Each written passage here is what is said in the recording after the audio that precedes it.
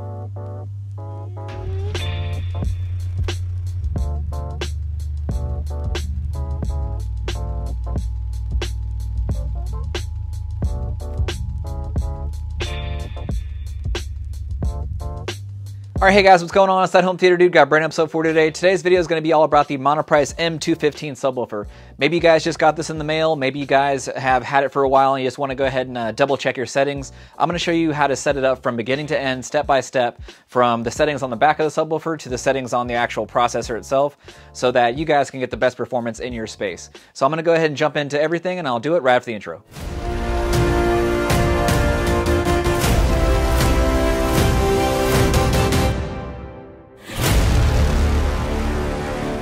Okay, so this is going to be the THX settings on the back of the Monoprice subwoofer. This is the M215, but you can use this as a reference guide for any of the rest of the THX subwoofers that Monoprice has out right now. So the very first thing you're going to want to do is you're going to turn this level all the way to the left, and you're going to hear a click. That's going to take you to THX reference level. There's a specific gain already set up in this amplifier that's going to give you the best performance. Next thing you're going to do is take this crossover out. It's going to, you're going to flick it down. THX is going to be off and that's going to take this completely out of the equation. So it doesn't really matter what it's on, it's not going to be controlled um, via this uh, amplifier anymore. Next thing you're to want to do is take it out of extended mode, turn it into THX mode, and then if you do have that foam port in the front, take the foam port out. So the next thing we're to talk about is phase. The simplest way to go ahead and set this thing up is some people don't have to mess with it at all, but if you want to go ahead and you know dive deep into the actual setup, um, you can actually use this as, as, a guide as well. What I'm going to recommend doing is go ahead and playing a test tone. Uh, you can have 50 hertz, 60 hertz, whatever it is, um, but you're going to go ahead and play that test tone with your front two speakers going as well as your subwoofer. So whenever you do that, you're going to be sitting in your main listening position. You're going to have your buddy go ahead and crank this thing up slowly, right? You're going to be sitting in your main listening position with the dB meter. And then what you're going to notice is that whenever it peaks on the dB meter, then you're going to go ahead and stop. And then, um, so if it stops at 180, then you can go ahead and leave it at that point. So you're gonna want to go ahead and play around with this. You can fine adjust it and whatnot to your actual likings. Typically the peak is gonna be the best setting for you to actually leave this on. So I'm gonna go ahead and leave this down on zero and then we'll go ahead and mess with that later on if we need to. So for most people, having it at zero is gonna be just fine, but if you're not getting the most breathtaking performance that you would expect, then you might wanna go ahead and do that second thing that I was talking about. So now that we've done the THX settings on the back of the amplifier, what we're gonna do is we're gonna go ahead and mess with the settings on the processor itself. So now that we have the uh, THX settings already set up, uh, I would highly recommend that you guys try this both ways and see which one you like better for your um, room and your performance. So now, since this is already set up from THX, we're gonna have a couple different considerations. So now what we're gonna do is we're going to go ahead and just, this is just for the very first time that you do this, you can crank it up or you can crank it down. I would recommend putting it at 0 dB on your level. So with that 0 dB, you're going to be able to, if you want more volume, if you want a little more punch, you can raise it up. You don't always have to, you know, go to go to 11 and pump this thing all the way to the right. But I mean, fine adjustments should uh, actually help you out. And then if you if, it, if you find that's too much, you can turn it down a slight bit. Okay. Um, so that's why they have all these things on here. It gives you a little more versatility in your setup. Okay, so next thing I'm gonna talk about is gonna be your crossover. So with this one, typically I wouldn't necessarily have to worry about this anyway because most people for their setup, they're gonna have a modern preamp processor and then uh, you're, you're gonna have that LFE control in there. So what low frequency effects is LFE, it's going to give a specific frequency a better um, target than what it is by flicking this thing around by fingers, right? So if you want to use this thing and you don't want to use your processor, which I wouldn't recommend, I would just recommend letting your processor do it. Um, and don't use both. So if you have this thing on on, you're going to be able to use this crossover. So if your preamp processor is sending LFE, and then you come over here and then you put it at 90, um, it's it's it's going to be sending. It, it, you're not going to get the best performance out of it because you're getting too many ki- uh, cooks in the kitchen with that type of setup. So I mean, you can obviously set it up wrong. So I would highly recommend, for most people's cases, just leave the crossover off and then just let your LFE take effect. But if you guys have an older setup, then um, and you don't have an LFE type of setting, put this thing on on and then you know just make it to whatever you need to be. So it's going to be traditionally, I would say, put it 20 hertz above what your speakers are crossed over at. So if your main front speakers are going to be crossed over at 80 hertz, then you might want to have 20 hertz of roll off. Then I would probably say try to give it as close to 100 as possible. But for most people's considerations, they don't need to use that Next thing we're going to talk about is this extended mode. You can put it in extended mode if you like.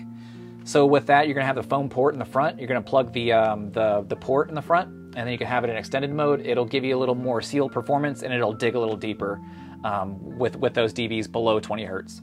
Next thing I'm going to talk about, we already talked about phase. The same thing applies here. If you're not getting some awesome performance out of this thing, um, obviously you want to have it in the best position for your room. But um, once you do that and you get it in a really good position, if you're not getting some really awesome performance, I would highly recommend doing that two two man method or two person method, having someone go ahead and wiggle this thing around while you're in your main listening position, and then hopefully it'll get it'll fix all those problems that you're having. Because if you have things out of phase, it'll completely drop. It'll completely drop the, um, the, the low frequency effects, and it'll almost sound like it's not even on because you have noise cancellation whenever two waves meet each other. Okay, so now we've done this setup. This is the non-THX setup on the uh, unit.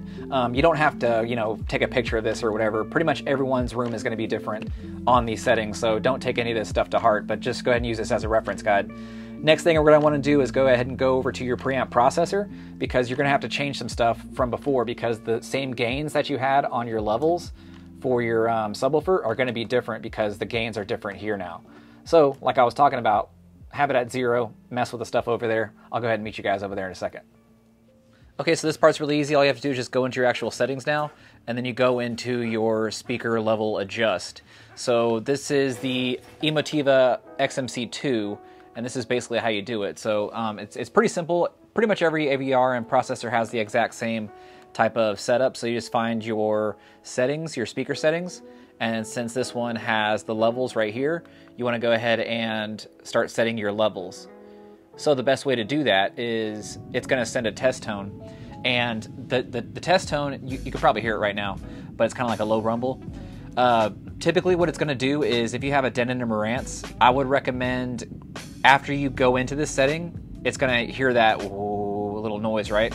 So I would go and walk over to your receiver or use your remote and then just turn it up to reference volume, which is going to be either uh, negative 75 or actual zero, and then that will help you out with um, finding these test tones proper. Because if you do it without it, it's not going to come out uh, the proper calibration. And if you have something that has, let's go back out of this. If you have something that has a test tone, if, if you see it, it says low right there. I would recommend putting it in medium because medium is going to give you a little more. Um, a little, a little more wiggle room with having it set up um, with the actual calibration. So on your test tone, I would go in, in this one, turn it to medium, and then there you go. So now every speaker that you have, it doesn't matter if it's your left speaker or your right speaker, all of them are going to be set to that medium. So make sure you pay attention to that. And then you want to set your subwoofers up to the same thing as well. Now what you have to do is you get your dB meter. So this is the one I use. It's called the V-Like. Um, you can't see it right now, but I'll go ahead and show a picture of it. So this is the V-Like dB meter. Got it on um, Amazon. It was kind of expensive. It's kind of like 50 bucks. But the cool thing is, is it has A weighted and C weighted. All you do is you go ahead and set your target. So this one's targeted 80 dB. And then you, you can see right now that I already went ahead and filled around with it. So it's kind of already set up the way it needs to be. So, I mean, I, I'm, I'm, not making this video so you guys copy these settings. I'm making this video to show you guys how to do it because my settings aren't going to be exactly the same as your settings. So what we do is we go in here, we have this sitting at our main listening position, right? And then you go in here, and if it's too loud, then you bring it down on your levels. So if you see back there, I'm changing the levels. And at the same time on this one, it's changing the adjustment. So you can kind of see how it's blurred out, but I'm lowering it again. See how it's lowering down? And then if it's too quiet, then you just pump it up. But you're targeting 85 dB. So as you can see back there, it's at 10.5 and at my main listening position, it's at 87-ish, 88. So I need to bring it back down. So you bring it back down on your settings, and then that should help out with your dB meter. So I think it was 9.5, and if I stop talking, it'll probably level out.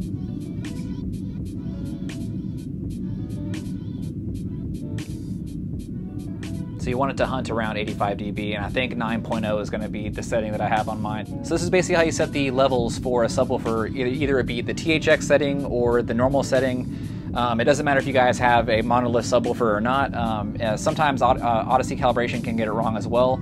Um, typically on Audyssey calibration, you're going to be searching for 75 dB as your um, as, your reference mark. But if you want to pump it a little bit hot, then you can do that as well. But this is for the Monoprice THX certification type of setup. All right, well, I guess that concludes the settings of the Monoprice M215 subwoofer. If you guys have other Monoprice THX certified subwoofers, that will basically help out as, as a guide to set these things up. And even the second part of this video, how to set it up as a traditional subwoofer calibration, that can help out anyone that has, you know, just any subwoofer in their room. And it will help double check the auto calibration that you guys do uh, to see if it was very accurate and also to get, you know, the best actual sound and performance from the subwoofer itself. So in between the two, I like the THX subwoofer settings a little more. At my main listening position, I played, you know, the, the same clips back to back between the THX calibrated settings and the normal subwoofer calibrated settings. Uh, between the two, I liked the THX settings a little more. It gave me a little uh, better depth in the actual delivery.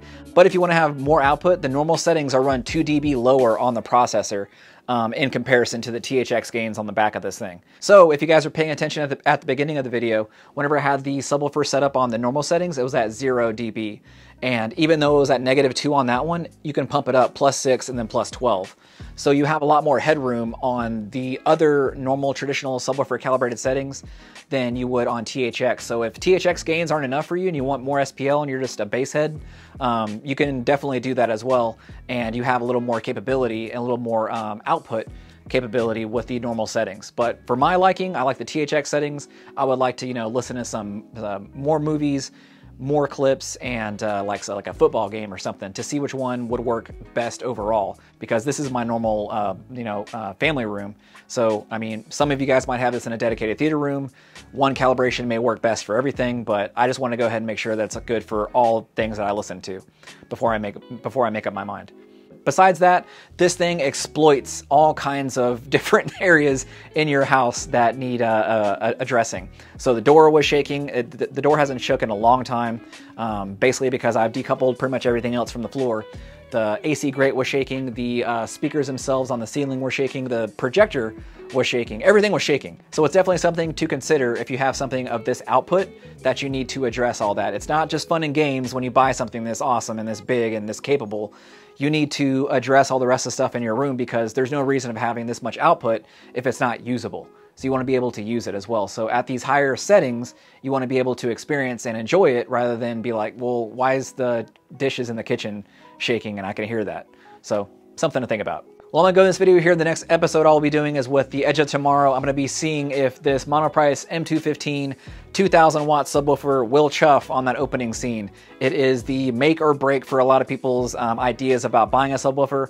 I don't understand why it is because if you're worried about port noise, why get a ported subwoofer? But uh, that's just my two two cents on it. But I'm gonna go ahead and see if this thing will chuff on that opening scene, and also do a couple more demos with this thing to uh, to actually test out the uh, the bass capabilities on it.